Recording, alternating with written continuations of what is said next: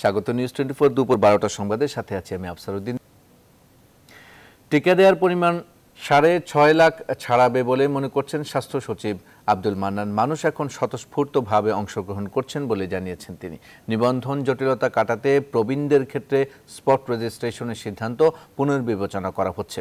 শনিবার সকালে বিএসএমএমইউতে টিকাদান কর্মসূচি পরিদর্শনে এসে স্বাস্থ্য সচিব এসব কথা বলেন। পঁয়ত্রিশ লাখ টিকা দেওয়ার পর শহর গ্রাম সহ এর আলাদা আলাদা পরিসংখ্যান করা হবে। তখন গ্রামের লোকের উপস্থিতি কম হলে আগ্রহ বাড়াতে পদক্ষেপ নেওয়া হবে।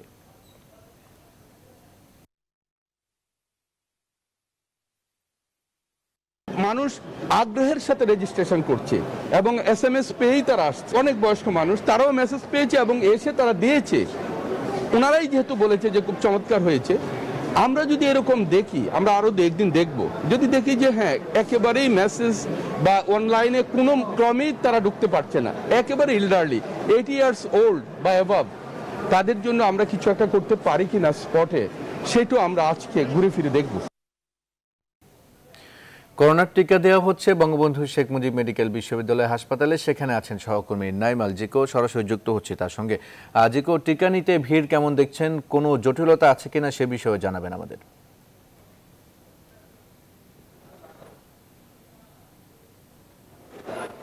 জি, ধন্যবাদ আফতার যেমনটি আপনারা জানেন যে এখন আজকে ষষ্ঠ দিনের মতন সারা দেশে এক হাজার পাঁচটি বুথ থেকে এই টিকা প্রদান কার্যক্রম চলছে। চব্বিশে বুথ থেকে দেয়া হচ্ছে এই টিকা।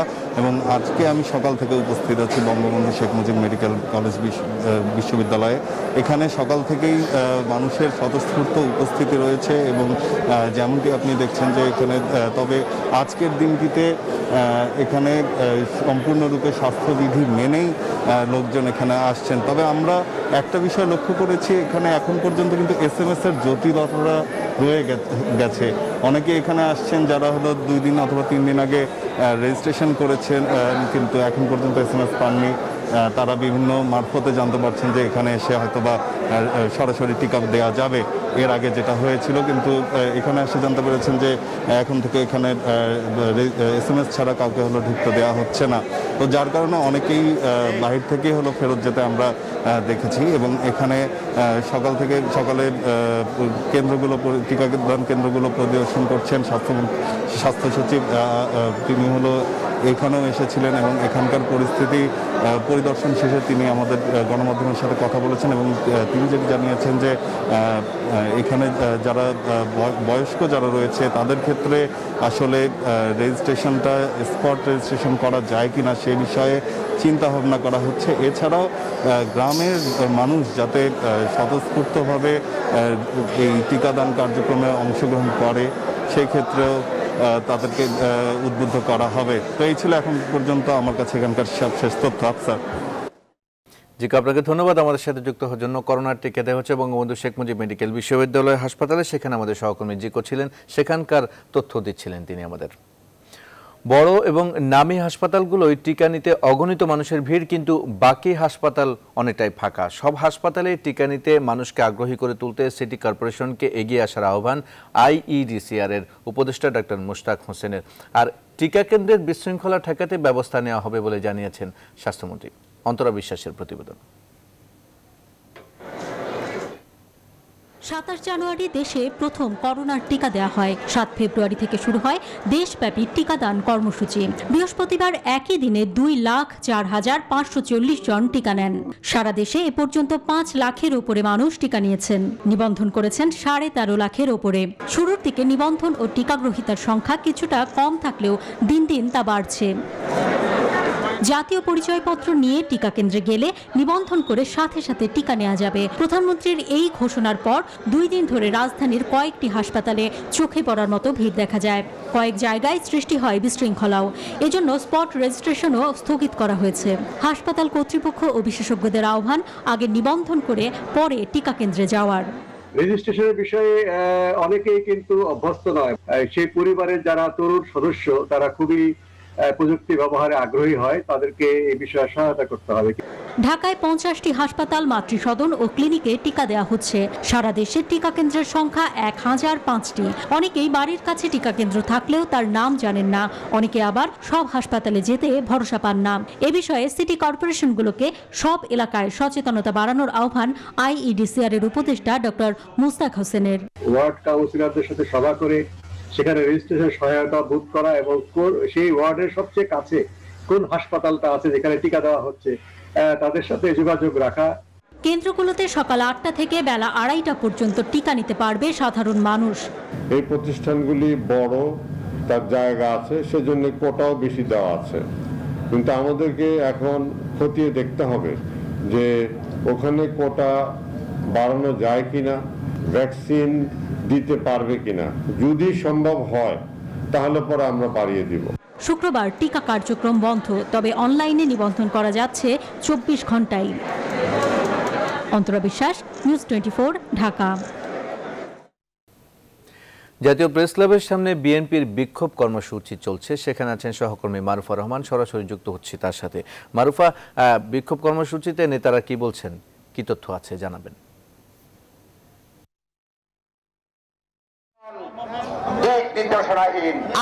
আজকে পূর্ব নির্ধারিত যে কর্মসূচি বিএনপির তাদের দলের প্রতিষ্ঠাতা জিয়াউর রহমানের মুক্তিযুদ্ধের যে খেতাব বাতিলের একটি কথা উঠেছে তার প্রতিবাদে প্রতিবাদে আজকে তারা পূর্ব নির্ধারিত কর্মসূচি অনুযায়ী সারা দেশের মহানগরগুলোতে প্রতিবাদ সমাবেশ পালন করছে। তারই অংশ হিসেবে জাতীয় প্রেস ক্লাবের সামনে তারা আজকে এই প্রতিবাদ সমাবেশ করছে। এখানে কেন্দ্রীয় নেতারা সহ অন্যান্য বিভিন্ন স্তরের নেতা কর্মীরা কিন্তু এখানে অংশ নিয়েছে। সকাল দশটা থেকে এখানে তারা সমবেত হয়েছে এবং এই কর্মসূচির শুরুর দিকে কিন্তু আফসার পুলিশের সঙ্গে কিন্তু তাদের এক ধরনের ধাওয়া পাল্টা ধাওয়ার ঘটনা ঘটেছে এবং তারপরে কিছুক্ষণ পর স্বাভাবিক প্রক্রিয়ায় তাদের এই সমাবেশ এখন পর্যন্ত চলছে। এ পর্যায়ে প্রধান অতিথি বক্তব্য রাখছেন স্থায়ী কমিটির সদস্য খন্দকার মোশাররফ হোসেন। তিনি বলছেন এই পর্যন্ত অন্যান্য সিনিয়র নেতারাও যেটি বলেছেন যে এই বাতিলের কোন উদ্যোগ যদি সরকার থেকে নেওয়া হয় তাহলে তার জবাব আসলে তার জবাব তারা কঠোর আন্দোলনের মধ্য দিয়ে দিবে। এমনকি সরকার পতনের হুঁশিয়ারও কিন্তু তারা দিয়েছে। সব মিলিয়ে দলের বিভিন্ন স্তরের নেতা কর্মীরা সরকার পতনের আন্দোলনের জন্য প্রস্তুত রয়েছে বলেও বারবারই তাদের বিভিন্ন বক্তব্যে এসেছে। সেই সাথে স্বাধীনতায় তাদের দলের প্রতিষ্ঠাতা জিয়াউর রহমানের মুক্তিযুদ্ধের বিভিন্ন অবদানের কথা তারা তুলে ধরছে। সব মিলে এই ছিল আমার কাছে সর্বশেষ তথ্য। মারুফা আপনাকে ধন্যবাদ আমাদের সাথে যুক্ত হওয়ার জন্য। বিএনপির বিক্ষোভ কর্মসূচি থেকে যুক্ত হয়ে সেখানকার তথ্য জানাচ্ছিলেন সহকর্মী মারুফা প্রেস ক্লাব থেকে তিনি যুক্ত হয়েছিলেন। রাজধানীতে চাহিদার চেয়েও বেশি পানি সরবরাহে সক্ষম ঢাকা ওয়াসা। তবে ভূগর্ভস্থ পানির ব্যবহার কমিয়ে সত্তর ভাগ পানি ভূপৃষ্ঠ বা নদী নালা থেকে সরবরাহ করার মহা পরিকল্পনা হাতে নিয়েছে সংস্থাটি। সেই সাথে পানির মান ঠিক রাখতে এবং সমবন্টনে তৈরি হচ্ছে ডিজিটাল ডিস্ট্রিবিউশন নেটওয়ার্ক, যার আওতায় ঢাকাকে একশো পঁয়তাল্লিশটি ক্লাস্টারে ভাগ করে নতুন পাইপের মাধ্যমে পানি সরবরাহ করা হবে। নিউজ টোয়েন্টি ফোরকে দেওয়া একান্ত সাক্ষাৎকারে এসব তথ্য ওয়াসার এক যুগ ধরে ব্যবস্থাপনা পরিচালকের দায়িত্বে থাকা তাকসিম এ খান জানিয়েছেন। আরও জানাচ্ছেন লাকমিনা জেসমিন সোমা কখনো পানির সংকট, আবার কখনো বা ময়লা পানি সরবরাহের অভিযোগ। রাজধানীতে ওয়াসা নিয়ে তাই অনেকেরই ক্ষোভ। ঢাকায় প্রতিদিন পানির চাহিদা দুইশো দশ থেকে দুইশো পঁয়তাল্লিশ কোটি লিটার। আর ওয়াসার উৎপাদন ও সরবরাহ ক্ষমতা দুশো পঁয়ষট্টি কোটি লিটার। তবে প্রাকৃতিক ভারসাম্য বজায় রাখতে এবার ভূগর্ভস্থ পানির ব্যবহার কমাতে চাই ওয়াসা। সেই লক্ষ্যে পাঁচটি পানি শোধনাগার তৈরি হচ্ছে, জানান ওয়াসার MD Taqsim A Khan. Saidabad phase one, আমরা তারপরে তৈরি করি সায়দাবাদ ফেজ টু। তারপরে আমরা পদ্মা নদী থেকে পানি এনে পদ্মা যশোর দিয়ে ওয়াটার ট্রিটমেন্ট প্ল্যান্ট তারপরে এখন চলছে গন্ধবপুর মেঘনা নদী থেকে পানি এনে এবং যেটা প্রায় আধা আধি বা থার্টি পার্সেন্ট হয়েছে। আর তারপরে এখনও শুরু হয়নি, কিন্তু শুরু হচ্ছে অচিরেই, সেটা হচ্ছে Saidabad water treatment plant phase three. এবং এই সব কয়টা যখন হয়ে যাবে, তখন আমরা সত্তর ভাগ আমাদের সারফেস ওয়াটার দিতে পারব এবং তিরিশ ভাগ থাকবে আন্ডারগ্রাউন্ড এক্সট্রাকশন। নিউজ টোয়েন্টি এর সাথে একান্ত সাক্ষাৎকারে ময়লা পানি নিয়ে রাজধানীবাসীর ক্ষোভ প্রসঙ্গেও কথা বলেন ওয়াসার এমডি। আমরা যেই জায়গায় পানিটা উৎপন্ন করি, সেখানে একশত ভাগ পানিটা ডাব্লিউএইচও স্ট্যান্ডার্ডে আপনার যেটাকে আমরা বলি পোর্টেবল ওয়াটার বা সুপেয় পানি। কিন্তু পানি লাইনে আসার পর বিভিন্ন জায়গায় পুরনো লাইন ভাঙা কাটা থাকার কারণে ওই জায়গায় দিয়ে কন্টামিনেশন হয়, অর্থাৎ ময়লা ঢুকে পানিকে দূষিত করে। তা আমাদের স্ট্যাটিস্টিক্স বলছে নব্বই পার্সেন্ট পানি আমাদের কোনো কন্টামিনেশনে হয় না। মহাপরিকল্পনা অনুযায়ী বিশুদ্ধ পানি সরবরাহে ঢাকাকে এবার একশো পঁয়তাল্লিশটি ক্লাস্টারে ভাগ করে ডিজিটাল পদ্ধতিতে পানি বন্টন করবে ওয়াসা। এই একশো পঁয়তাল্লিশটা প্রত্যেকটা ডিস্ট্রিক্টই একটার থেকে আরেকটা হাইড্রোলজিক্যালি আইসোলেটেড এবং একটার ইন পানি এবং আউট পানি কম্পিউটারাইজ সিস্টেমে মেজার করা যায়। কাজেই এই সিস্টেমে এই পাইপলাইনগুলোতে আর কোথাও কোনো ভাঙা টাঙারও সুযোগ নেই এবং এতে পানি কন্টামিনেটেড হচ্ছে না। আমরা চৌষট্টিটা ডিএমএ কমপ্লিট করতে পেরেছি এবং এই চৌষট্টিটা ডিএমএতে কোশ্চেন কালেও এখন আর কোনো দিন পানির কোনো ওই যে কোয়ালিটি নিয়ে প্রশ্ন দেখা দেয় না। প্রশ্ন দেখা দিচ্ছে পুরনো যেগুলো আছে। কাজে সেখানেও আমরা চেঞ্জ করে ফেললে এটাও আর থাকবে না। আগামী দুই হাজার তেইশ চব্বিশ সালের মধ্যে এই মহাপরিকল্পনা বাস্তবায়নের প্রত্যাশা করেন ওয়াসার ব্যবস্থাপনা পরিচালক। ঘুরে দাঁড়াও ঢাকা ওয়াসা। Lakmina Soma news twenty Dhaka. দর্শক আমরা আরেকবার প্রেস ক্লাবে যুক্ত হব সেখানে আমাদের সহকর্মী মারুফুর রহমান আছে আমরা সরাসরি যুক্ত হচ্ছি সেখানে।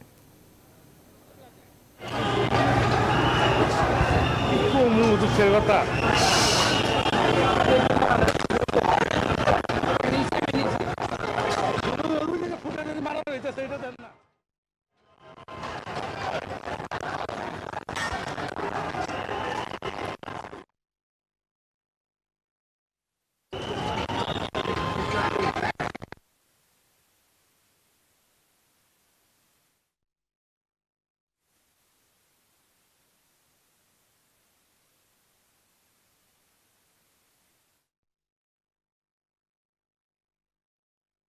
জানতে পেরেছি যে প্রেস ক্লাবে বিএনপির বিক্ষোভ সমাবেশ যেখানে চলছিল, সেই সমাবেশ শেষে পুলিশের সাথে ধাওয়া পাল্টা ধাওয়ার চলছে।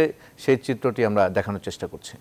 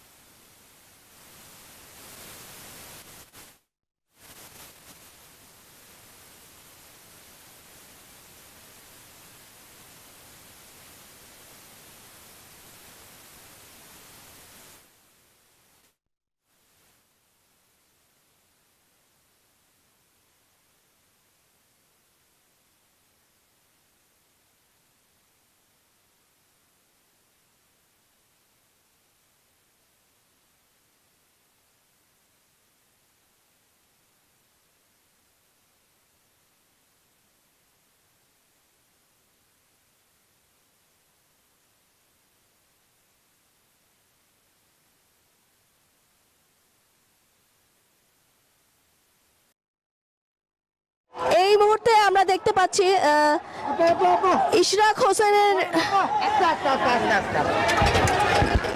ইশরাক হোসেন এবং তার সঙ্গে আহত একজন কর্মী রয়েছেন।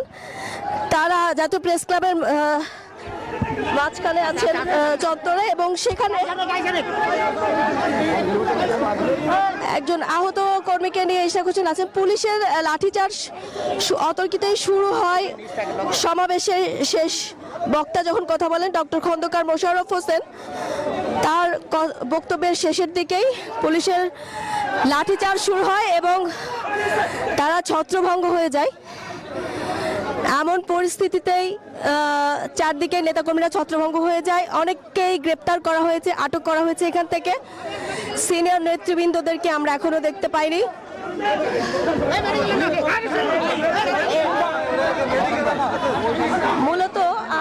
আজকের এই সমাবেশটি হয়েছে, প্রতিবাদ সমাবেশ হয়েছে। দলের প্রতিষ্ঠাতা জিয়াউর রহমানের মুক্তিযুদ্ধের যে খেতাব বাতিল, সেই প্রসঙ্গে, সেই খেতাব বাতিলের প্রতিবাদে পূর্ব নির্ধারিত কর্মসূচি অনুযায়ী এই প্রতিবাদ সমাবেশ সারা দেশেই মহানগর মহানগরগুলোতে আজকের এই প্রতিবাদ সমাবেশের অংশ হিসেবে ঢাকায় জাতীয় প্রেস ক্লাবের সামনে কেন্দ্রীয় নেতারা সহ এই প্রতিবাদ সমাবেশ চলছিল। শুরুর দিকে কিন্তু পুলিশের সঙ্গে এক ধরনের ধাওয়া পাল্টা ধাওয়ার ঘটনা ঘটেছে, তাদেরকে ছত্রভঙ্গ করে দেওয়া হয়েছিল। আবারও তারা সমবেত হয়ে পুরো সমাবেশটি শেষ করেছিল, করছিল। শেষ পর্যায়ে কিন্তু আবারও পুলিশ লাঠি চার্জ করে এবং সেই লাঠি চার্জের প্রেক্ষিতেই কিন্তু নেতাকর্মীরা ছত্রভঙ্গ হয়ে যায়। এখানে অনেকেই আহত হয়েছে আপনি দেখতে পাচ্ছেন। বিএনপি নেতাকর্মীদের অনেককে আমরা দেখেছি, আহত হয়েছে। এই আহত একজন নেতাকে নিয়ে আমরা দেখছি যে ইশরাক হোসেন তিনি এবং তাদের যারা রয়েছেন, তারা এখানে আমরা চেষ্টা করছি বাকি যে সমস্ত নেতাকর্মী আছেন, তাদের সঙ্গে কথা বলবার জন্য। আগামীকালও কিন্তু সারা দেশের ঢাকা ঢাকা মহানগর ছাড়া সারা দেশের জেলায় জেলায় এই বিক্ষোভ কর্মসূচি রয়েছে। এখান থেকে আজকে যে ঘটনা ঘটলো, এখান থেকে নতুন কোনো কর্মসূচি আসতে পারে, তারা কিন্তু বারবারই তাদের বক্তব্যে বলছিল যে তাদের এই আন্দোলনে কোনো ধরনের বাধা বিপত্তি আসলে তারা আসলে ছেড়ে কথা বলবে না, তারা এর পাল্টা জবাব দেবে, রাজনৈতিকভাবেই জবাব দেবে। এই ধরনের বক্তব্য কিন্তু তাদের বক্তব্যের মধ্য দিয়ে আসছিল। বিশেষ করে দলের প্রতিষ্ঠাতা জিয়াউর রহমানের খেতাব বাতিল বিষয়ে তারা বলেছিলেন যে তাদের দলের প্রতিষ্ঠাতা মুক্তি, রণাঙ্গনের মুক্তিযোদ্ধা এবং সেই খেতাব বাতিলের আসলে কারোর এখতিয়ার নেই। এই ধরনের বক্তব্য কিন্তু নেতাকর্মীরা বারবারই দিচ্ছিলেন এবং সেই সাথে তারা হুঁশিয়ারিও দিচ্ছিলেন যে আওয়ামী লীগ সরকার যদি এই ধরনের কোনো উদ্যোগ নেয়, তাহলে সরকার পতনের আন্দোলন তারা করবে এবং রাজপথে রাজনৈতিক করা জবাব তারা দেবে। এরই মধ্যে কিন্তু আমরা দেখলাম আজকের এই সমাবেশের যে চিত্র এখান থেকে নতুন কোনো কর্মসূচি আসতে পারে, হয়তো এরপর, পরপরই কোনো ব্রিফিং এর মধ্য দিয়ে পরবর্তী কর্মসূচি ঘোষণা আসতে পারে।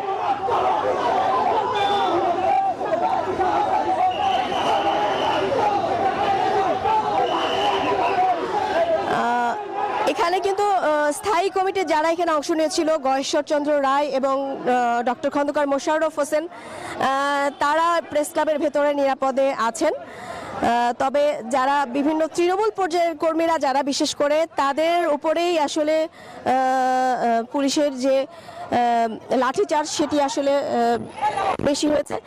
ফলে তারা ছত্রভঙ্গ হয়ে গেছে, অনেকে আহত হয়েছে, অনেকে আটক হয়েছে। আসলে কতজন আটক হয়েছে সেই সংখ্যাটা এখন আমরা স্পষ্ট বলতে পারছি না, তবে অনেককেই সমাবেশের শেষে পুলিশ আটক করে আটক করেছে এবং অনেকেই কিন্তু পালিয়ে গেছে। আপনি জানেন যে এদের অনেকের নামেই কিন্তু মামলা রয়েছে, বিভিন্ন মামলা মামলায় বিএনপি নেতা কর্মীদের রয়েছে। সেই মামলার আসামিদেরকে ধরার চেষ্টা করা হয়েছে কিনা এই ধরনের বক্তব্য আমরা নেওয়ার চেষ্টা করেছি, তবে আইন শৃঙ্খলা রক্ষাকারী বাহিনী আমাদেরকে কোনো কিছু জানায়নি। জানেন যে সমাবেশের শুরুতেও কিন্তু এক ধরনের আমরা ধাওয়া পাল্টা ধাওয়ার ঘটনা দেখেছি। পুলিশের সঙ্গে ইট পাটকেল ছোড়াছুড়ি আমরা দেখেছি বিএনপি নেতাকর্মীরা বিএনপি নেতাকর্মীরা অভিযোগ এনেছে যে তাদের উপর হামলা করা হয়েছে বা তাদেরকে সমাবেশে বাধা দেওয়া হচ্ছে। কিন্তু তারপর পরে কিন্তু আমরা পরিস্থিতি আবার স্বাভাবিক হতে দেখেছি। এই স্বাভাবিক পরিস্থিতিতে কিন্তু বিএনপির বিভিন্ন স্তরের নেতাকর্মীরা তারা বক্তব্য রেখেছে। এবং সমাবেশটি বলা চলে সফলভাবে হয়েছে, কিন্তু শেষে, সমাবেশের শেষে যখন প্রধান অতিথির বক্তব্য রাখছিলেন দলের স্থায়ী কমিটির সদস্য ডক্টর খন্দকার মোশাররফ হোসেন তখন কিন্তু আমরা দেখলাম যে পুলিশ অতর্কিতে সমাবেশে লাঠিচার্জ করল এবং তারপরে বেশ কয়েকজন নেতাকর্মী আহত হয়েছে। আমরা দেখছি ইশরাক হোসেন তার যে কর্মী, তাকে নিয়ে, তাকে সাথে নিয়ে তার গাড়িতে করে হাসপাতালের উদ্দেশ্যে রওনা হচ্ছেন। প্রথমে কিন্তু এই যে কর্মীটি, এই কর্মীর উপর যখন লাঠিচার্জ হয় ছত্রভঙ্গ হলেও ইশরাক হোসেন কিন্তু তার যে কর্মী তাকে আবারও তার কাছে চলে আসে পুলিশের লাঠিচার্জের ভেতরে এবং এসে তাকে রক্ষা করার চেষ্টা করে। এবং এখন সেই কর্মীকে কিন্তু তিনি সাথে নিয়ে যাচ্ছেন, আমরা এমনটা দেখেছি। এবং অন্যান্য ইউনিটের যারা নেতাকর্মীরা আছেন তারাও কিন্তু বিচ্ছিন্নভাবে প্রেস ক্লাবের বিভিন্ন জায়গায় কিন্তু তারা আশ্রয় নিয়েছে। বিএনপির স্থায়ী কমিটির সদস্য খন্দকার মোশাররফ হোসেন, স্থায়ী কমিটি একটি বৈঠক করে কিন্তু জিয়ার খেতাব বাতিল বিষয়ে জিয়ার খাতে খেতাব বাতিল বিষয়ে কিন্তু জাতীয় স্থায়ী কমিটির বৈঠক করে তারা সিদ্ধান্ত নেয় যে সারা দেশের মহানগরগুলোতে এর প্রতিবাদে বিক্ষোভ সমাবেশ প্রতিবাদ সমাবেশ করবে আজকে শনিবারে সবগুলো মহানগরে এবং আগামীকাল রোববার জেলায় জেলায় আবারও বিক্ষোভ সমাবেশ এবং প্রতিবাদ সমাবেশের কথা রয়েছে। দলের পূর্ব নির্ধারিত কর্মসূচি অনুযায়ী। তারই অংশ হিসেবে আজকে সকালে কিন্তু এই বিক্ষোভ সমাবেশ চলছিল। সকাল দশটা থেকে বিক্ষোভ সমাবেশ হলেও সকাল নয়টায় কিন্তু এখানে সমবেত হয়েছে বিএনপির সকল স্তরের নেতাকর্মীরা। আমরা আরও বেশ কয়েকজন আহত নেতাকর্মীকে দেখতে পাচ্ছি এখন। যারা পুলিশের লাঠি চার্জে আহত হয়েছেন কেউ পালাতে গিয়ে আহত হয়েছেন, তাদেরকে আমরা দেখতে পাচ্ছি। তাদের ভেতর এক ধরনের বিক্ষোভ আমরা দেখতে পাচ্ছি এখন যখন ইশরাক হোসেন তার কর্মীদের নিয়ে যাচ্ছে, তারা স্লোগান দিচ্ছেন। সব মিলিয়ে পুলিশের সতর্ক অবস্থান এখনও আমরা দেখতে পাচ্ছি। সচিবালয়ের পেছনের গেটের সামনে, অর্থাৎ প্রেস ক্লাবের মুখোমুখি যেই গেট সচিবালয় সেখানে। সেখানেও কিন্তু পুলিশ, কয়েক প্লাটুন পুলিশ আছে পুলিশের সতর্ক অবস্থান আমরা দেখতে পাচ্ছি এবং পুলিশ কিন্তু আবারও আমরা দেখছি তৎপর হচ্ছেন এবং ইশাক হোসেনের গাড়িকে কেন্দ্র করে এবং সেই আহত নেতাকে কেন্দ্র করে যারা এই গাড়িটিতে রয়েছে, সেখানে কিন্তু আমরা দেখতে পাচ্ছি যে পুলিশের আবারও এক ধরনের তৎপরতা আমরা দেখতে পাচ্ছি। ঠিক সচিবালয়ের যেই রাস্তাটি, সেই রাস্তা বরাবর এখানে নেতাকর্মীদের চলে যাওয়া এবং পেছনে পুলিশের কয়েক প্লাটুন পুলিশের সতর্ক অবস্থান। বলা চলে এখন এই সমাবেশ ঘিরে যেই ধাওয়া পাল্টা ধাওয়ার ঘটনা সেটি শেষ হতে যাচ্ছে। কারণ বলা চলে সব নেতাকর্মী প্রায় মাঠ ছেড়েছে। আমরা একটু আইন শৃঙ্খলা বাহিনীর সাথে কথা বলার আইন শৃঙ্খলা বাহিনীর সদস্যদের সাথে কথা বলার চেষ্টা করব। আপনারা এই যে সমাবেশটি তো শান্তিপূর্ণভাবে শেষ করছিল সেই সময় আপনি কি প্রথম থেকে ছিলেন? আপনি প্রথম থেকে ছিলেন? কীভাবে ইট ইট পাটকেল নিক্ষেপ করছে এটা আপনি দেখছেন। কীভাবে গাড়ি ঘোড়া তিন ঘণ্টা ধরে রাস্তা আটকে রাখছে আপনি দেখছেন? আপনি শান্তিপূর্ণ সমাবেশ কি এই বিএনপির লোকজন যেভাবে জনগণের জানমালের উপর আঘাত করছে এটা বর্ণনাতীত।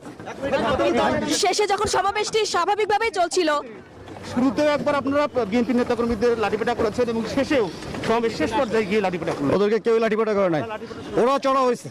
মানে ওরা ওরা ইস- উস্কানিতে পুলিশের উপর লাঠিপাটা করছে। পুলিশের উপর ইট পাটকেল লিখে বলছে আপনারা এসে বলছেন এখন আবার উল্টো কথা বলতেছেন। জান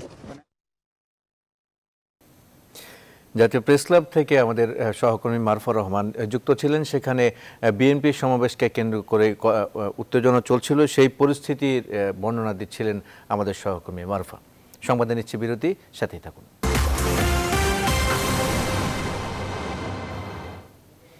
বিরতির পর আবারও স্বাগত সংবাদে।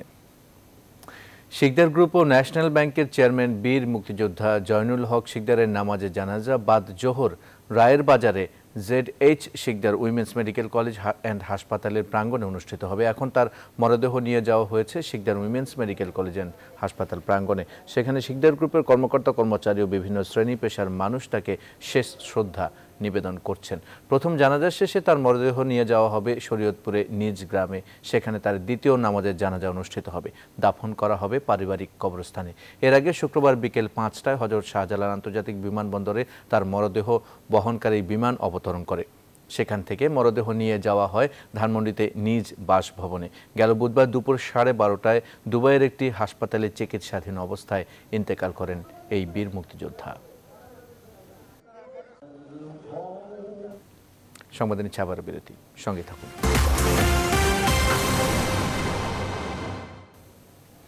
আবারও স্বাগত সংবাদে। আন্তর্জাতিক প্রসঙ্গ, মিয়ানমার সরকারকে চার কোটি বাইশ লাখ ডলারের আর্থিক সহায়তা দেওয়ার প্রতিশ্রুতি প্রত্যাহারের সিদ্ধান্ত নিয়েছে যুক্তরাষ্ট্রের আন্তর্জাতিক উন্নয়ন সংস্থা ইউএসএআইডি। তবে দ্বিপক্ষীয় কর্মসূচির আওতায় দেশটির জনগণের জন্য ছয় কোটি নব্বই লাখ ডলারের যে আর্থিক সহায়তা রয়েছে তা অব্যাহত থাকবে বলে জানিয়েছে সংস্থাটি। বৃহস্পতিবার এক বিবৃতিতে ইউএসএআইডি জানায়, মিয়ানমার সরকারের প্রয়োজন ছিল এই অর্থ, কিন্তু সামরিক অভ্যুত্থানের পর দেশটির কর্মসূচি পুনর্মূল্যায়ন করে এই সহযোগিতা না দেওয়ার সিদ্ধান্ত নেওয়া হয়। বিবৃতিতে আরও বলা হয়, মিয়ানমারের সামরিক বাহিনীকে সহায়তা করার বদলে দেশটির সুশীল সমাজকে সহায়তা করতে এবং তা জোরদার করতে এসব তহবিল সরিয়ে নেওয়া হবে।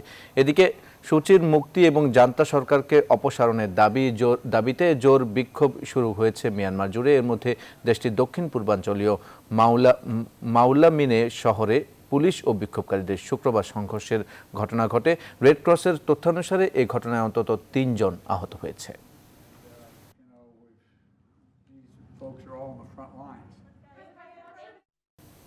নিচ্ছি বিরতি, সঙ্গে থাকুন।